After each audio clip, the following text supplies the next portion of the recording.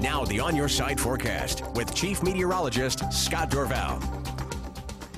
We started out the day with some rain this morning. Two hundredths of an inch falling between 8 and 9 o'clock at the airport in Boise. We'll take a look at the village at uh, Meridian here. Ah, that's the live picture right there. Let's see if we can get this. Uh, it's a great animation if I can get this to go here. Let's take a look at it. Uh, all right, try to put this into motion here. That's the wrong one. How about this one? There we go. Let's put that into motion. Here's the rain this morning. Watch it go right here from left to right. That was the rain coming from north to south through the Treasure Valley. And then watch the clouds start to break up. Low clouds are hanging around for a while, but the blue sky starting to win on out. Still keeping some cloud cover north there in the mountains. Let's take a look at the latest picture here and see the current temperature. It's warming up quite nicely at the village at Meridian. 73 degrees. Boy, what a nice afternoon. It is amazing. It's much cooler where the cloud cover is to the east of the Treasure Valley or the east of Ada County. Uh, some storms near the mountain home area. Folks getting some uh, gusty winds, some brief heavy rain and lightning nearby. But it's 73 in Boise. North northwest winds at 17 miles per hour. So it is breezy out there. Look at this beautiful view from McCall. Not a lot of boats, but they're starting to show up here in the harbor right now. And uh, you see blue skies to the north. Likely to see a little bit of a warm up over the next couple days, a few degrees. So not bad in McCall right now. That north wind at 17 coming right in from north to south right here. So we're looking due north in this picture.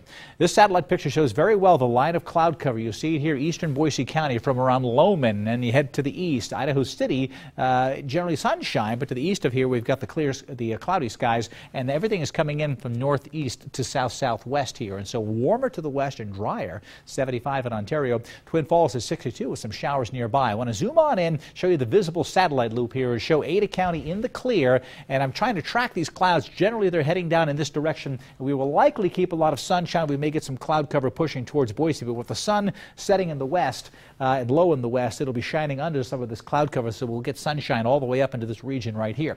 The purple you see, those are hail tracks. That's where we've had some hail, and right across the interstate, we probably had some pea-sized hail across the interstate between Mountain Home and Hammett, west of Glenns Ferry there, and there was a little hail down here north of Richfield. In the Magic Valley, we have this cloud cover, but I still think We'll keep dry conditions through most of the Treasure Valley tonight, especially in Canyon County. Here's our storm system to the south. Everything going clock, counterclockwise and feeding into this low pressure. So that's the direction movement of these storms. Dry weather is trying to work its way in. The storm will go to the south and then it will track on off to the east and northeast. And a big storm system eastern Wyoming under winter storm watches. There's some winter storm warnings in effect as well, as it will get some pretty heavy snow, up to seven inches possible in Laramie. Uh, this is going to be uh, on Saturday night, mostly on Sunday as well, as this system system draws away. It'll bring a breeze tomorrow as the wind blows into the storm system during the day tomorrow. But there's warmer weather to the west. The cool weather will slide to the east.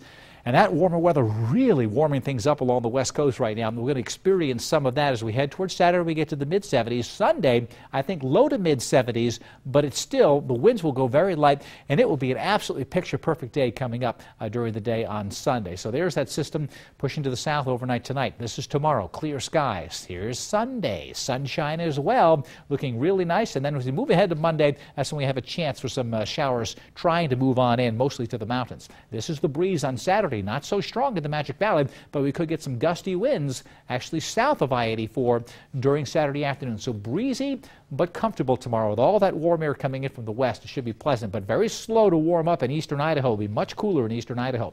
77 in Ontario, 75 Boise, Meridian, Kuna, Mountain Home breezy with some gusty winds.